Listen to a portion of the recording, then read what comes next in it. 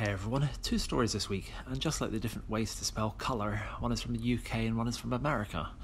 Let's first talk about Boris Johnson. He was embroiled in a bitter row after making comments about women wearing the burqa resembling a postbox, a row possibly inspired by the thought that the next Tory leadership election in a few months will involve sending out thousands of postal ballots to the party faithful the comment or joke or hate speech or leadership stump, depending on how you view it, attracted support from the Mr. Bean actor Rowan Atkinson in a piece in the Times, as well as The Guardian, who published the same joke in an opinion piece several years ago. And actually, oh wait, no, they came out on the side of political correctness this time rather than feminism. If you want my take on it, it's pretty simple to tell the burqa and a postbox apart. One is for first in class male, the other is for second class females across most of the Arab world, by the way. There's 200 million women out there if anybody wants to take a break from discussing gender pay differences at the BBC.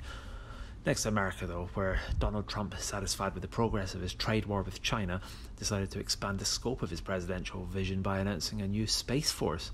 The move came as a blow to toy manufacturers who've used names like Space Force along with Star Battles or Transformingers to sell knockoff third party rubbish to kids down the market for years the kind of toy manufacturers who back in the 80s would have sold you a Back to the Future toy set where the DeLorean looks suspiciously like a grey Ford Granada from another toy set.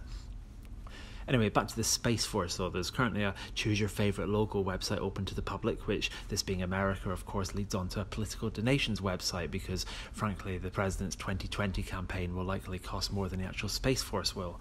Alas, for most of the fun science fiction imagery, the new branch of the military will most likely be responsible for cataloguing boring stuff like the position of spy satellites and the like.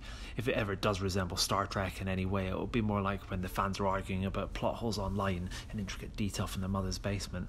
But then I'm more of a Battlestar Galactica fan myself anyway. Anyway, see you next week. If you like these, click subscribe.